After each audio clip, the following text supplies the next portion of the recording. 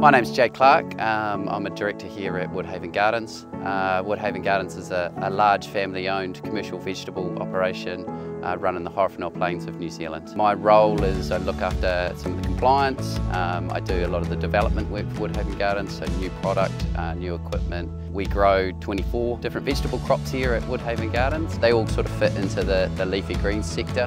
We're really conscious of keeping that diversity in the rotation, not only for uh, economic sustainability, but also through environmental sustainability reasons. We're being far more conscious about our environmental effect.